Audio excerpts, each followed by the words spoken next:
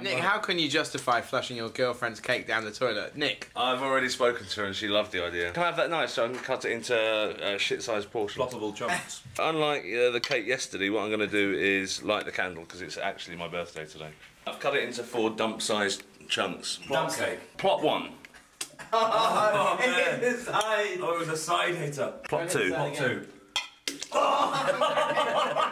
that was a splasher. Shall I flush? Yeah, flush. Get rid of Okay, flush one. There he goes. Holy Christ. Oh. Oh, oh, break it up.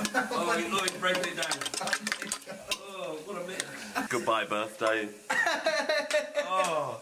Oh my god, look at that. So can I hand you the cake? Okay, ready? Oh my god. I never seen anything like it. Goodbye, birthday.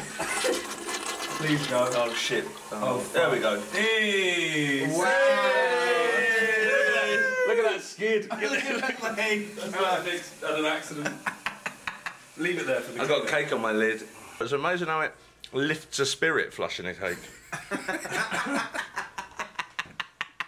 That was Nick's birthday cake flushing. We all enjoyed it. I hope you did too.